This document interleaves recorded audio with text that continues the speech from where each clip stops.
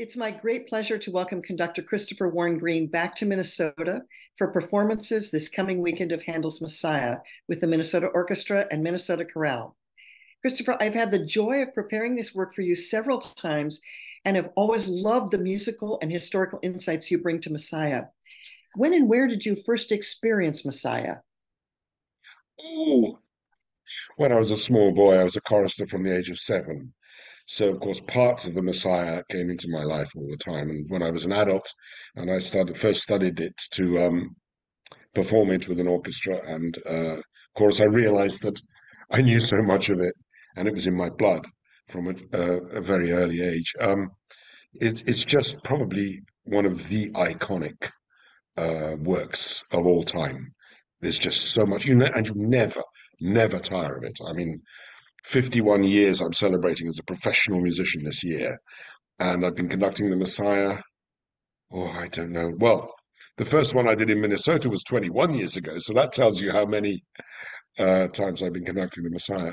But it is just one of the greatest works. I've never, ever had an opportunity um, to invite a young person to the Messiah for the first time. Sorry, I've had the opportunity, but I've never had the occasion where they went away saying that they weren't blown away.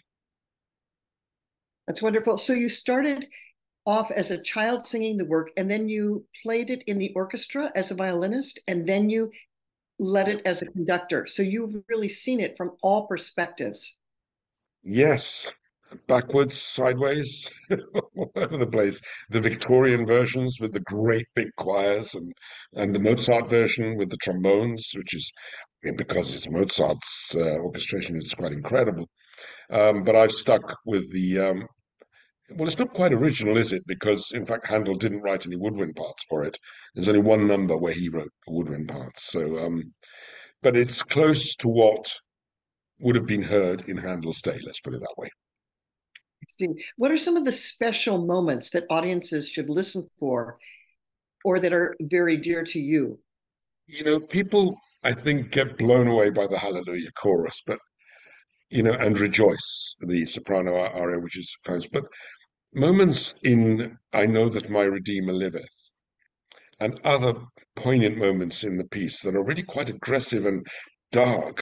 Actually, the version that I do is close to the Foundling Hospital version, but then I add things like The Lord Gave the Word and uh, other popular numbers because there's so much in there. That I think the Nativity scene is is one of the most magical parts for me. Very exciting when that starts with the um, what is known as the PIFA, which is a symphony, a rustic um, sort of country band, really playing as shepherds abide in the fields.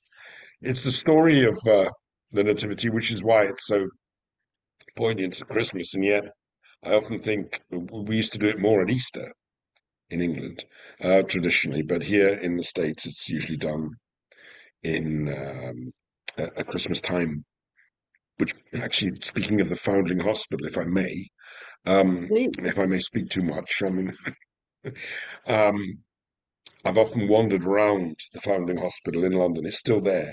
You can, if you're ever in London, you can go to Bloomsbury Square. You know, it's where Peter Pan arrived. You know, um, and the uh, arcades of the Foundling Hospital are still there. And I think what makes Handel so special is that he got together with Thomas Coram, and in fact, the Foundling Hospital is in Coram Fields. Thomas Coram was a ship's captain.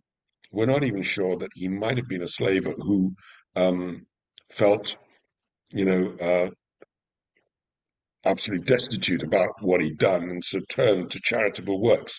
And he, with Handel, Thomas Coram, the ship's captain, Handel, and um, Hogarth got together, the painter, got together and they started the Foundling Hospital for the children of prisoners, because part of the punishment for a prisoner in those days, jolly place, old merry old England, you know, part of the punishment was they you stuck the prisoner in prison, and the wife and children get thrown out on the street. Oh. Lovely stuff.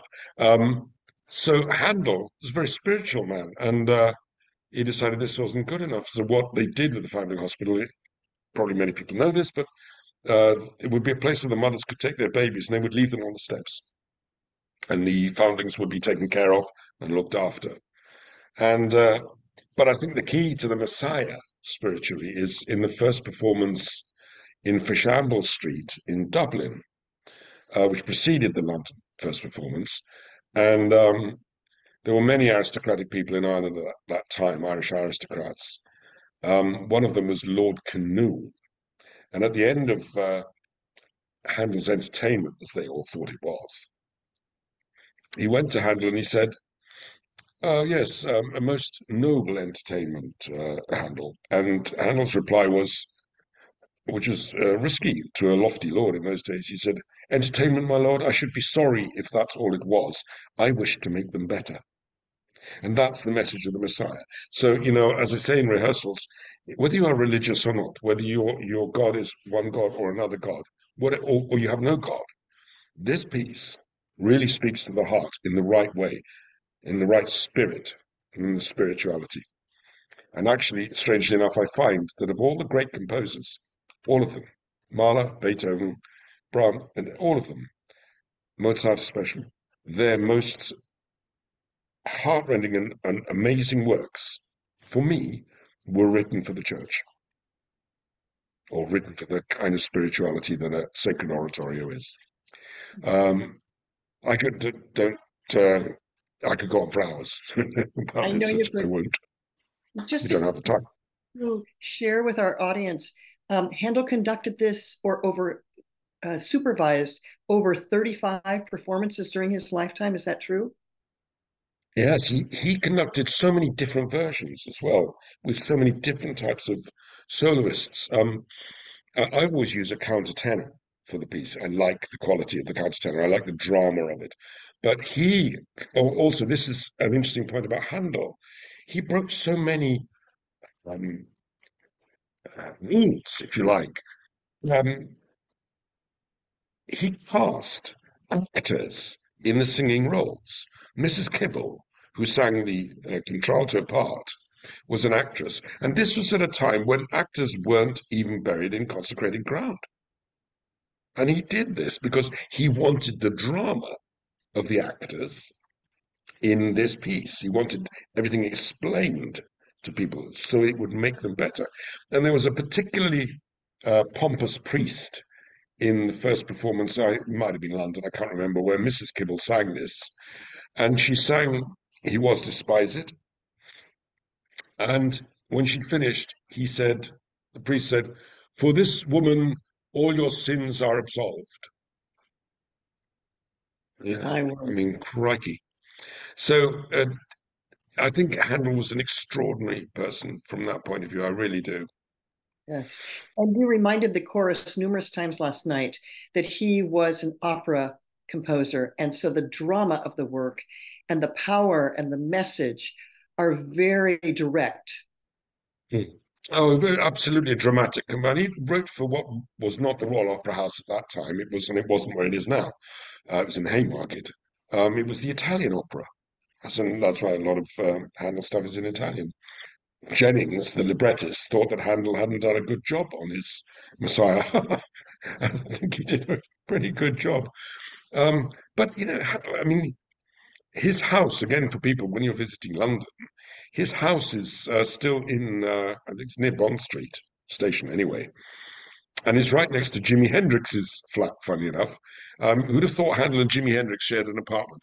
Um, but they, uh, the, the house is still there. The bottom floor is a shop, unfortunately, but it's still got this amazing architrave at the top. And this was the shop where Handel sold his sheet music. And upstairs is a room there, a little organ and a desk in this really dark room where he composed all this stuff. He composed the Messiah, all of that in 22 to 24 days. And while he was at it, he hung, uh, hung a soprano out of a first story window by her ankles because she wouldn't sing the way he wanted her to. He oh, had a bit dear. of a temper, you see. Yes, soprani, beware. This can happen. Can you imagine doing that nowadays? Getting oh. hold of someone by the ankles and holding them out of the window. He was a very big man too, but a good a good man, extraordinary man. Well, we're so grateful for your time and for your skill and for your passion in presenting and preparing this Messiah with us. And we can't wait for the concerts. So thank you so much for sharing a few insights and background about the work. And we look forward to seeing all of our listeners today in the audience on Friday and Saturday at Orchestra Hall. Thank you, Christopher. Thank you.